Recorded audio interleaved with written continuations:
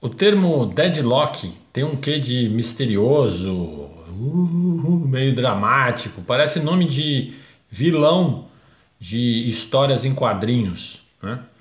E a gente vai ver que quando se fala de banco de dados, realmente o deadlock é um vilão.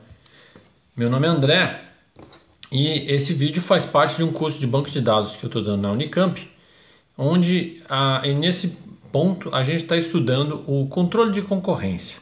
Esse vídeo, na verdade, dá continuidade a vídeos anteriores em que eu estou falando sobre esse assunto e é parte de um curso. Eu recomendo que você assista os vídeos anteriores antes de assistir esse. Nesse vídeo especificamente, eu vou falar do problema do deadlock no controle de concorrência. Então, a gente viu né, na, no, no curso, na parte anterior, toda a parte de bloqueio binário e compartilhado e como o bloqueio ele ajuda a gente a controlar é? a concorrência.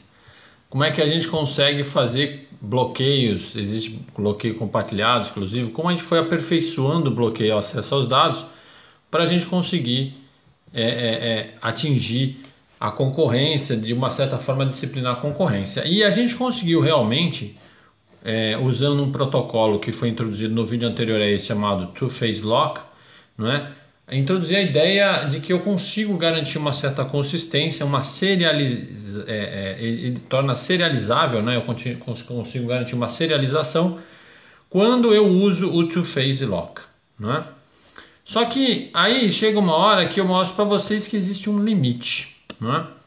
E o limite que eu mostrei foi justamente um caso em que duas operações concorrentes,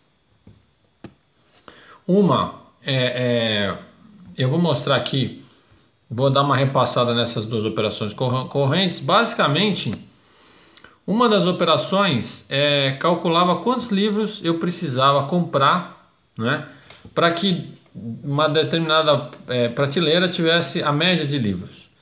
E, a, a, e aí eu desenhei aqui a, a, a operação. Né? A outra é quantos é, livros.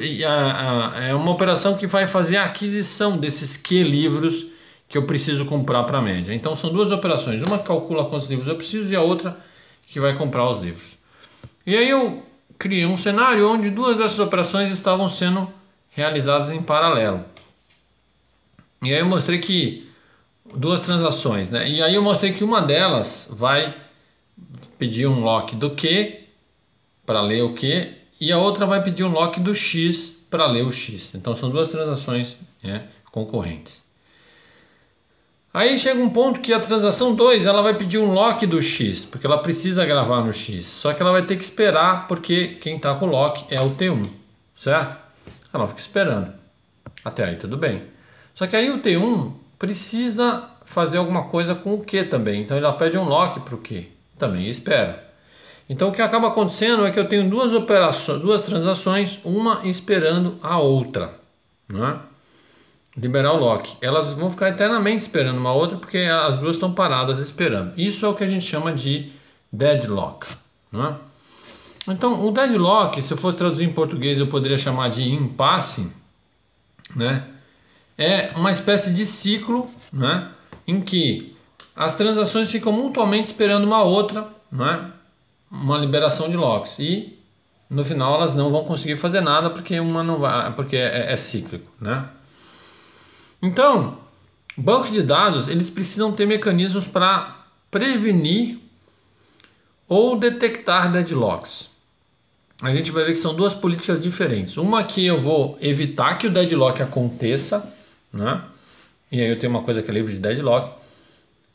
A outra política é, eu não evito, mas se eu detectar que está tendo um deadlock, eu vou agir para resolver o problema. Então, é, o que eu quero propor para vocês é que antes de você assistir o que eu vou mostrar agora, eu queria que vocês olhassem esse cenário aí e vocês tentassem pensar assim, como eu faria uma estratégia para prevenir um deadlock ou para tratar um deadlock caso para detectar o deadlock, como eu faria para detectar o deadlock e como eu faria para prevenir o deadlock. Eu queria que vocês fizessem isso antes de ver a solução que eu vou mostrar. É um exercício que eu quero que vocês façam para entregar. Porque é mais um, um exercício de pensar sobre o problema. Tá? Bom, uma das formas de você detectar um deadlock, você saber que tem um deadlock acontecendo em curso, é o que a gente chama de grafo de espera, não é? Então, o grafo de espera ele funciona assim. Não confunda esse grafo com o, o outro grafo que a gente estudou antes, tá certo? Que são dois propósitos diferentes. Nesse grafo de espera, é, a gente vai avaliar se há um deadlock. Tá? E para avaliar isso, o que, que eu vou fazer? Eu vou criar um nó para cada transação, certo? Muito bem. É, cada vez que uma transação espera a outra transação, tá? então toda vez que uma transação TX estiver aguardando a liberação de um lock e uma transação TY, é, é, a liberação de um lock de uma, né, que está na mão de uma transação TY, né, eu vou traçar uma aresta de TX para TY rotulada com o item que eu estou usando para espera. Então, por exemplo, T2 está esperando é, liberar o lock de X de T1. Né? Então eu, eu, faço essa aresta de T2 para T1, né? com o X rotulando. É, nesse outro caso, T1 está esperando o lock de T2. Então eu vou traçar uma aresta de T1 para T2 rotulado como key. Certo? Bom, então se eu detecto um ciclo, como vocês estão vendo aí, um espera o outro, é, eu tenho um deadlock. É claro que esse ciclo eu desenhei com dois, mas podia ser um ciclo com três. Né? Por exemplo, eu tenho um cenário, eu poderia ter um cenário onde é, eu fizesse o seguinte. Peraí, aqui eu fiz bobagem. Eu podia ter um cenário assim, ó, em que eu tivesse três nós, né? Assim, ó e eu fizesse uma coisa assim, ó. Novamente eu vou ter uma espera cíclica, um esperando o outro. Eu tenho um ciclo, eu tenho um deadlock, certo? Fechado. É, eu tenho como prevenir o deadlock. Eu posso criar planos, né?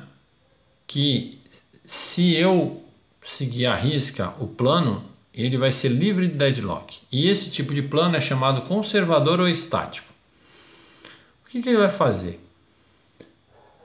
Quando ele começa o plano, a transação vai bloquear todos os itens que ela precisa ler ou gravar.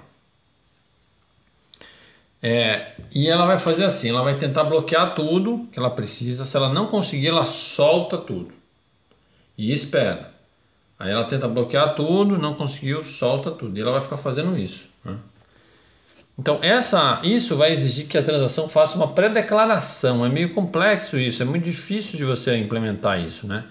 Porque a transação teria, teria que pré-declarar tudo que ela vai usar, né? Então, se a gente lembrasse daquele detalhe, aqueles locks lá que eu falei para vocês, vamos, vamos lembrar como é que é o gráfico do 2PL. Eu não sei se vocês lembram, né? Então, o gráfico do 2PL, ele é... Bom, tá lá atrás, aqui, ó. Ele tem uma fase de crescimento em que eu pego todos os locks, depois eu tenho uma fase que eu estou operando coisas, depois eu tenho a, a, fase de descida em que eu começo a liberar locks e aí não paro mais de liberar locks, né? Então isso é o 2PL. Então esses planos que eu vou mostrar aqui todos vão seguir o 2PL porque eu estou considerando que todos eles vão ser serializáveis, né? Mas é, esse aqui ele vai fazer o seguinte: vocês estão vendo que vai ter um momento, o um momento de crescimento, ao invés de ele poder acontecer durante o transcorrer da, da transação, não é assim que funciona. Tem um ponto aqui que é o ponto chamado início da transação. O que ele vai fazer? Ele vai tentar pegar todos os locks antes de começar a transação. Se ele ficar preso em algum, ao invés de ele ficar lá esperando, ele vai soltar tudo. E daqui a pouco ele tenta de novo. Né? E ele, você pode ter tempos arbitrários e tal. Isso vai evitar um ciclo, porque a transação não começa enquanto ela não tiver os locks. Então você não vai fazer um ciclo, tá certo? Bom, é, apenas para completar todos os tipos de diagrama, né, e aqui eu estou saindo um pouco de deadlock, só uma pausa, porque é, é difícil às vezes organizar isso, né? É, eu mostrei para vocês o 2PL, eu mostrei para vocês o, o, o o conservador ou estático, em que eu pego tudo no começo. Agora tem um outro tipo que eu estou saindo um pouco de 2PL. Daqui a pouco você vai entender para quê. Ou 2PL não, desculpa, de deadlock. Daqui a pouco você entenda para quê. Existe um tipo de, de plano chamado estrito rigoroso. É, o estrito, são dois, né? Estrito e rigoroso. O estrito não vai liberar as locks de gravação até o commit. Então, ele vai, se ele tiver locks de gravação, ele não libera no meio do caminho. Ele só libera na hora que ele faz o commit, ele libera todos os locks de gravação. Certo? Então, é, o que que, o que, que é, esse cara vai garantir? Tá certo? Ele vai garantir um negócio que eu chamei de schedule restrito, né? Que ele vai ele não vai deixar ninguém ler dados que eu alterei antes de eu realizar commit. Então eu não vou ter aquele problema, né, que eu tinha antes, nem de cascata, né? Eu não vou ter problema de cascata porque o cara não vai conseguir ler e nem de inconsistência, porque ele, ele leu um negócio que eu, eu alterei e realizou commit antes de mim, que são dois problemas que eu mostrei para vocês. Né? O rigoroso, ele faz a mesma coisa, só que tanto para read locks quanto para write locks, tá certo? Ele é mais fácil de implementar e é por isso que alguém, alguns escolhem rigoroso. Então, rigoroso, se eu fosse desenhar um diagrama, eu diria que ele seria mais ou menos assim. Você tem a fase de crescimento, você opera os dados lá, e na hora que você libera, é na, depois que você deu o commit, você libera todos os logs. Então isso garante a consistência no sentido de que você não vai ter é, você vai ter a, a, garantia de você não vai ter cascata, você não vai ter gravação antes de alguém que vai ler seus dados e vai fazer commit antes de você fazer commit. Né? Você pode inclusive criar um plano que é, é que é estático, né, conservador estático e rigoroso, né? E aí você vai ter um negócio que você pega todos os locks no começo, opera e solta tudo só depois do commit. Pega tudo antes de, de começar a transação e solta tudo no commit, né? Então, por exemplo, se eu fosse olhar aquele problema que eu tinha de não restaurável, lembra? Que é, era aquele caso em que uma transação, deixa eu mostrar aqui, ó, que é esse cara aqui, ó eu gravei aqui, né? Aí uma transação veio e leu os dados que eu acabei de gravar e fez commit antes de mim, certo? Qual é o problema que tem isso? O problema é que se eu der um crash aqui, por exemplo, tiver que desfazer a minha transação, eu vou ter um problema porque é, é, esse cara leu os meus dados e deu commit, então eu não posso desfazer ele, tá? Então eu ia criar um problema de, de ser não restaurável. Se eu usar aquele sistema né, estrito rigoroso, isso nunca vai acontecer. Por quê? Porque não vai acontecer de eu soltar meu lock né, no meio do caminho, como eu fiz aqui. Eu não, não vou conseguir soltar o lock por aqui para esse cara ler. Então, esse tipo de problema não vai acontecer. É, tá. Bom. É, Ok. Então, na verdade, na verdade, o que vai acontecer se eu considerasse que o plano é, é rigoroso, né? É, como ele não ia, como ele não ia soltar os locks, né? Desse x, desse y, como ele não ia soltar, né? Ele, esse cara não ia soltar o lock, então ia ficar esperando. Então, no final das contas, todas as minhas operações iam acabar caindo depois dessa transação. Quando ela desse o crash, ela poderia ser desfeita sem me afetar. Né? Bom, então como eu falei, o plano pode ser conservador e rigoroso. Lembrando que isso é um cenário muito é, complexo. Tem várias razões. Uma das razões é que é difícil você pré-declarar as coisas que você vai usar. É muito difícil você conseguir fazer isso. Né? Se você for rigoroso, então também você vai prender tudo até o final da sua transação. Você meio que quase que vai tornar inviável, né? você fazer alguns tipos de intercalação. Então isso, apesar de ser uma coisa possível, né? Então eu queria que vocês fizessem esse exercício 3 para entregar também, tá? É, eu, onde você vai fazer um, um, plano intercalado que poderia ser gerado com o algoritmo 2PL, né? Para essas transações, né? E um grafo de espera é, nesse A, certo? Bom, agora eu vou mostrar para vocês o seguinte, é, como é que, é, uma vez que eu detectei que eu tenho um, que, um, possível deadlock, né? quer dizer, não é nem impossível, né? mas como é que eu posso atuar para, de uma forma mais é, efetiva, pre prevenir deadlocks, que não seja aquela de eu ter que pré-declarar tudo que eu vou ler e gravar, porque aquilo é um pouco um cenário um pouco abstrato, né? Então tem políticas, uma das políticas é, é, é baseada no uso de timestamps, tá certo? E toda uma política de prioridade baseada em timestamps. Isso vai gerar uma espécie de assimetria e vai impedir o deadlock. Mas para você entender isso, você tem que prestar muita atenção, porque o processo é um, tem várias sutilezas, tá certo? Bom, então eu tenho duas políticas para evitar deadlock. Uma, usando esses timestamps. Uma é chamada esperar morrer e a outra é chamada ferir esperar. Cada um tem suas vantagens e desvantagens. É wait die and wound and wait. Certo? Bom. Então agora vamos estudar a primeira, certo?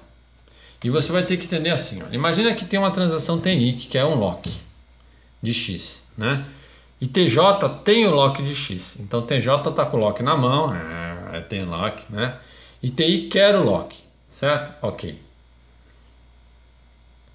É, então, o que, que, vai acontecer? Se a política for wait die, é, se o TI que está pedindo lock, ele tem prioridade sobre o TJ, o que, que significa prioridade? Significa que o timestamp dele é menor. Toda vez que eu tenho um timestamp menor, eu tenho prioridade, né? porque eu comecei primeiro. Então, se eu tenho prioridade sobre TJ, então eu vou esperar TJ. Eu vou ficar esperando o TJ liberar. Pô, mas André, você está esperando de novo, não vai dar deadlock? Espera aí que eu vou mostrar que é assimétrico. Se eu não tiver prioridade sobre TJ, certo? Eu aborto minha operação. Então, olha só, TJ está com um lock, né? Eu cheguei, eu sou TI. Suponha que eu não tenho prioridade, ou seja, o meu timestamp é maior do que o TJ. O que eu vou fazer? Eu vou abortar. Mas André, o que, que isso significa? Então vamos, vamos olhar aqui um exemplo passo a passo. TI, TJ tinha um timestamp 53, né? quer dizer que ele está no, no instante de tempo 53. TI tem 32, é anterior, ele tem prioridade, então ele espera. Agora vamos ver outro cenário. Vamos supor que TI chegou com um timestamp 68, que é maior do que 53. Ele aborta. Mas o que, que isso vai fazer para mim? Qual, qual, é a vantagem que isso vai trazer para mim? É uma vantagem que a gente chama de assimetria, certo? Por que assimetria? Nunca vai acontecer de TI esperar por TJ e TJ esperar por TI. Por quê? Porque sempre que a gente tiver o timestamp maior, vai abortar. Então nunca vai acontecer um ciclo, não é? Porque, por exemplo, vamos imaginar esse cenário aqui. TI está esperando por TJ, porque ele tem um timestamp menor. Mas se fosse surgir um cenário de deadlock, significa o quê? Que TJ hipoteticamente teria que esperar por TI. Mas isso nunca vai acontecer, porque como o timestamp dele é maior, se acontecer um cenário desse, ele aborta. Então eu quebro o deadlock. Então esse cenário garante o deadlock, certo? Então aqui eu estou mostrando um passo a passo de como eu tentando criar, né? TI está esperando por TJ, né? Então é isso que eu acabei de mostrar, né? Agora TJ é, vai querer um Y que o TI tem. O que, que vai acontecer com o TJ? O TJ vai morrer, porque o timestamp dele é maior. Como isso é assimétrico, então, é, é, você nunca vai conseguir fazer um deadlock. Né? Um outro cenário também assimétrico e também para lidar com isso é chamado one wait, que é ferir e esperar. É a seguinte, a mesma história, né? Eu tenho TI, eu tenho TJ, e aí TI quer pegar um, um acesso a um item que TJ tem o, lock, certo? Bom, então, se TI, note, esse é um pouco diferente do anterior, você tem que prestar atenção. Se o TI tem um timestamp menor do que TJ, ele tem prioridade, na hora que ele pedir, o TJ aborta. Lembra que isso é diferente do anterior, né? O TJ aborta. Se não, se ele tiver um timestamp maior, ele espera. Certo? Então, novamente, esse também é assimétrico, só que agora é assimétrico de uma outra maneira, tá certo? Então vamos olhar aquele mesmo cenário que eu dei. No primeiro exemplo que eu dei do outro, o TI, como ele tinha prioridade, ele esperava. Nesse aqui não. Se ele chega e ele tem um timestamp menor do que TJ, TJ aborta. Por outro lado, se ele tiver um timestamp maior, ele espera. Eu vou gerar novamente assimetria. E aí eu consigo garantir o deadlock. Claro, claro que cada um tem, um tem vantagens e desvantagens aí, tá certo? É, e aí você pode escolher um dos critérios, mas ele vai garantir que você não vai ter deadlock, ok? Bom, tem uma, uma forma de você é, detectar o deadlock, então você vai ficar monitorando o seu, o seu sistema e vendo se forma um gráfico de espera, né? E aí você vai verificar, vai ficar verificando o gráfico de espera. Essa é uma outra estratégia. Se você detectar um deadlock, Aí você pode pegar uma das transações que está é, gerando deadlock e aborta, aborta essa transação. E aí o algoritmo ele pode é, ter uma, uma estratégia para selecionar a vítima em que ela vai é, evitar transações que estão sendo executadas há muito tempo. Então essa é uma estratégia também de evitar deadlock. Uma outra estratégia é o timeout que quer dizer o seguinte: eu estou esperando um lock, eu, eu tenho um tempo, um limite de tempo. Quando chegar nesse limite de tempo, eu aborto. Então, isso é o timeout, também funciona para evitar deadlock. Bom, então eu mostrei basicamente estratégias de você detectar e lidar com deadlock. Existe um outro tipo de, de, de é, é, é, fenômeno né, que de uma certa maneira bloqueia o meu sistema, que se chama starvation. Né? O starvation é, é quando, na verdade, você fica tentando fazer alguma coisa, mas você não consegue, não consegue, não consegue por um tempo indefinido. O exemplo clássico de starvation é o, o que a gente chama de uma fila. Eu estou dando um exemplo em outro cenário só para você entender. Você imagina que eu tenho uma impressora compartilhada, né? E essa impressora compartilhada, várias pessoas mandam seus, seus textos lá e imprime o texto, certo? Bom, vamos supor que é, eu, eu não tenho uma política de prioridade, né? Eu, eu, eu, o primeiro que chega vai sendo atendido, mas aí dentro da empresa o pessoal fala, poxa vida, mas sei lá, o, o, o, os caras que têm mais que são mais maiores na, na hierarquia deviam ter prioridade sobre os outros, né? Então eles então estabelecem, um, né, o presidente da empresa tem maior prioridade, depois diretores, depois gerentes, assim por diante. E vamos imaginar que o, o, fluxo de impressões ele seja muito grande. O que, que, vai acontecer? Imagina que tem um cara lá que é estagiário, sei lá, e que tem uma prioridade baixíssima. Aí toda vez que ele manda para imprimir, ele fica atrás de um monte de gente que tem prioridade maior e nunca consegue imprimir, porque sempre vão entrando gente com prioridade maior, com prioridade maior, com prioridade maior e ele fica indefinidamente esperando porque não consegue entrar. Então isso é o que a gente chama de starvation, tá? E aí, e, e eu dei o exemplo da impressora, mas isso pode acontecer em atendimento a coisas no banco de dados, ele pode a, a, acontecer em vários outros cenários. E qual é a sugestão nesse caso? Primeiro, ou você não faz esse esquema de prioridade, aí você vai ter lá primeiro que chegar vai ser atendido, e aí você não vai ter esse problema. Ou você pode ter um esquema que, tudo bem, vai ter prioridade, mas na medida que eu espero, eu aumento o meu score até que vai chegar uma hora que eu vou conseguir, tá certo? Então essa é uma forma de evitar starvation. Bom, era isso que eu queria falar nesse vídeo. Eu quero agradecer ao Celso e à Patrícia. E é, essa é a página da minha disciplina. Se você quiser, a minha página pessoal, se quiser mais vídeos, eu tenho vídeos em outras áreas. E você também pode assinar o meu canal. Obrigado.